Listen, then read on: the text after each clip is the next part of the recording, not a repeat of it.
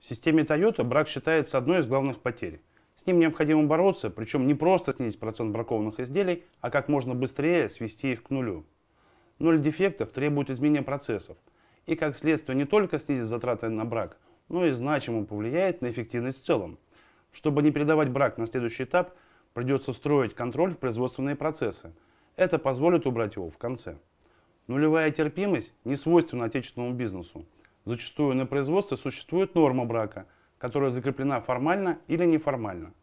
Но рассмотрим пример. Мы хотим напечатать и продать 100 книг с отпускной стоимостью 100 рублей. То есть планируем получить выручку 10 тысяч рублей. Себестоимость книги 50 рублей. Значит наша прибыль составит 5 тысяч рублей. При этом, если мы запланируем 5% брака, то выручка составит 9,5 тысяч.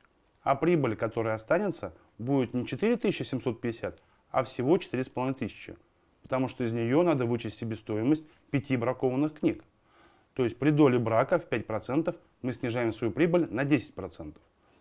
Если рентабельность будет не такой высокой, то потери станут гораздо более ощутимы. При рентабельности в 5%, 5% браков полностью съедят всю прибыль. Компания будет работать в ноль. Иногда сохранять норму брака оправдано. Меры по полному искоренению брака не всегда окупаются – но это необходимо обосновывать экономическими расчетами. Есть старинная немецкая поговорка, которую я часто цитирую. «Завтра, завтра, не сегодня, так ленивцы говорят». В компании Toyota эта идея звучит как точно вовремя. Смысл один. Несвоевременно сделанная работа является потерей. Система точно вовремя нацелена на сокращение потерь, которые вызваны перепроизводством.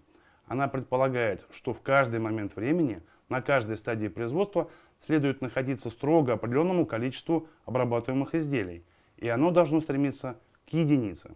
В более общем смысле, все должно делаться, когда это нужно, там, где нужно, и в том количестве, в котором нужно. И никаких рекордов выработки и соцсоревнований. Самый надежный способ установить стабильный график поставки материалов от внутренних и внешних поставщиков и тем самым обеспечить работу по принципу точно вовремя – использовать канбан. Эта система была подсмотрена Toyota в американских супермаркетах. Она основана на восстановлении постоянного запаса товаров на прилавках по мере их разбора покупателями. Kanban представляет собой систему карточек ярлыков, сопровождающих контейнеры с материалами, которые обеспечивают увязку поставки новых материалов с фактическим расходом. Эти карточки описывают, что и когда следует делать с контейнером. Если контейнер пуст, то его надо переместить в обозначенное на ярлыке место для заполнения материалами в написанном количестве. А когда контейнер заполнен, направить в указанное место для дальнейшего использования. В результате запас материалов на площадке поддерживается на необходимом уровне, не больше и не меньше. К системе Kanban относится также разметка на полу и полках в хранилище, помогающая правильно перемещать и заполнять контейнер. Одна из версий Kanban Канбан-доска. Доска, как правило, разделена на три логические секции. Что сделать, что делается и что будет сделано.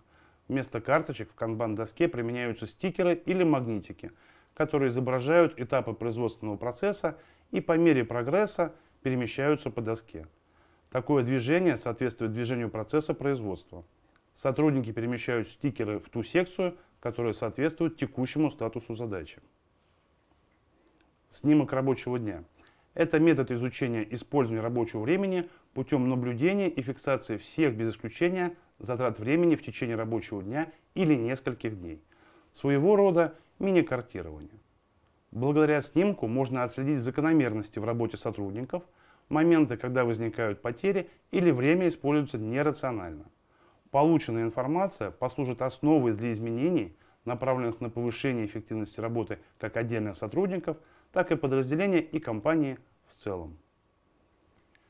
Стандартная операционная процедура. Так называемые СОПы – это выполненные в табличной форме пошаговое описание операции с указанием причин каждого шага. И это не какой-то сложный документ, который нужно утверждать у генерального директора. Но это тот документ, который позволяет добиваться одинакового исполнения того или иного действия всеми исполнителями. Там отражаются ключевые моменты, которые могут сказаться на успешном выполнении той или иной операции. При желании так можно писать что угодно, хоть чистку зубов или приготовления какого-то блюда. Собственно, хорошая поваренная книга – это сборник сопов и есть. И чем больше сопов, тем проще жизнь. Вот основной девиз при использовании этого инструмента.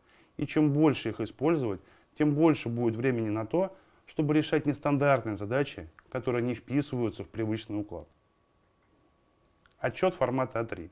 На одном листе А3 должна быть помещена вся необходимая информация. Это дает возможность мгновенно выхватить необходимые данные.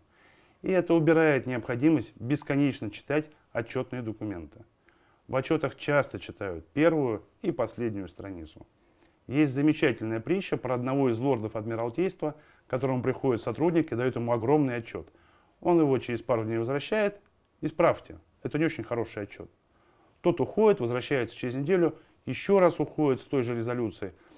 И так происходит занос отчета и вынос отчета на протяжении месяца. И только на пятый или шестой раз, когда сотрудник приходит, «Милорд, это лучший отчет, который я мог создать. Я лучше уже ничего не могу».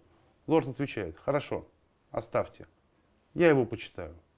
Дело в том, что такие истории с отчетами часто происходят потому, что они большие, толстые и скучные, и читать их совершенно не хочется. А когда перед автором отчета стоит задача отразить только самую необходимую и важную информацию, шансы на то, что отчет прочтут, значительно вырастают. Встроенный контроль. По нашей классической схеме проверка осуществляется после выполнения всех операций.